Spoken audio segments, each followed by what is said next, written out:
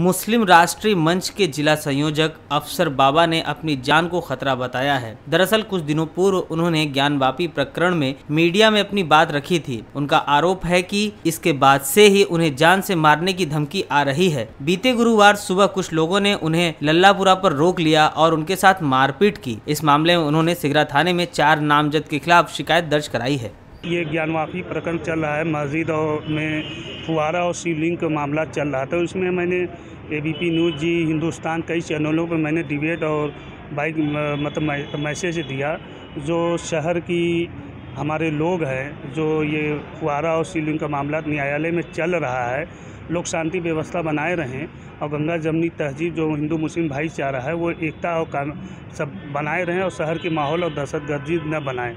और जब तक न्यायालय का फैसला ना आ जाता है, तब तक एक जिसके भी पक्ष में आए, हमारे हिंदू भाई के पक्ष में आए तो उनको मानना होगा, मुस्लिम भाई के पक्ष में आए तो उनको माना, जिनके दोनों में से किसी के भी हक में आ जाए।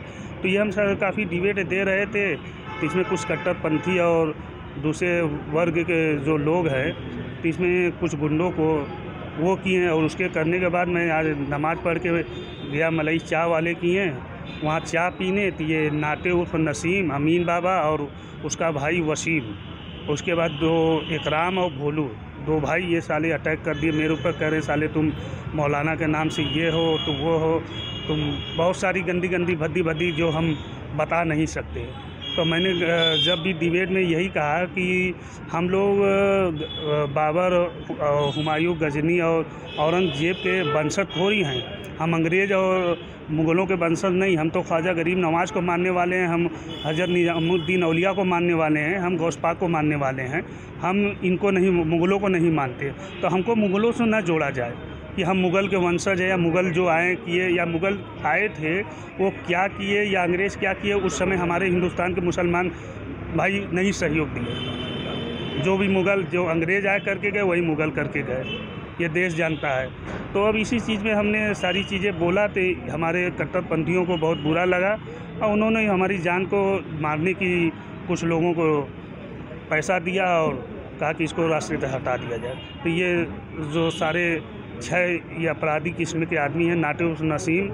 ये वांटेड है सिगरा थाने का कई थानों का जो कि ये भागा रहता है किसी का हत्या करना चौकी पे बम पटका हुआ है चौकी पे जानते हैं लोग कई लोगों से छिनैती करना उसका यही पेशा है हत्या करना। जी आप संबंधित अधिकारियों को प्रार्थना पत्र दिए? हाँ जी संबंधित सभी अधिकारियों को हमने ये मैटर सूचना मिल चुका है हमारे थाना चौकी इंचार्ज और ऊपर के अधिकारियों को भी ये मामला संज्ञान में सारी चीज़ें सारी घटना को मालूम हो चुका है। जी आपके हिसाब से आप टीवी डिबेट में गंगा जमुनी तहजीब की बात कर रहे थे इस वजह से आपको टारगेट किया बिल्कुल इसी वजह से हमको टारगेट किया गया। ये जो गैर फिरके के लोग हैं जो इसमें लगे हुए हैं जो दहशत गर्दी करना चाहते हैं जो कट्टरपंथी हैं वो ही इस मामला में हमारे ऊपर अटैक करवाएँ मतलब उनका ये कहना था कि आप ज्ञान माफ़ी मामले में दूर हो जाएँ। दूर हो जाएँ और कोई न राय दें न मीडिया से राय दें न डिबेट करें न कुछ करें न फेसबुक में कोई ऐसा चीज़ लगे। यही लाइन आप दो रही ज्ञान माफ़ी मामले में क्या? ज्ञान माफ़ी मामला से इस मैटर से हम हट जाएँ कोई डिबेट न दे न कोई फेसबुक पे आईडी लगाए और न कोई बात बोले। नहीं तो तुम्हें जान से मार दिया जाएगा। जी स्थानीय प्रशासन द्वारा क्या कार्रवाई स्थानीय प्रशासन ने तुरंत मुकदमा कायम किया। अभी जा रहे हैं अपराधियों को पकड़ शाम तक पकड़ने के लिए बोले हैं। उनके ऊपर दरवीज दी जाएगी। उनकी गिरफ्तारी शाम तक हो जाएगी। पेश है न्यूज़ बकेट हिंदी मासिक पत्रिका। पढ़े इस महीने की पूरी खबर विस्तार से हमारे न्यूज़ बकेट की मैगजीन में। हमारी ई मैगजीन को मुफ़्त में पढ़ने के लिए अभी लॉग इन करें www.newsbucket.in पर इसके अलावा रोज की ताज़ा खबरों के लिए हमारे यूट्यूब चैनल को तुरंत सब्सक्राइब करें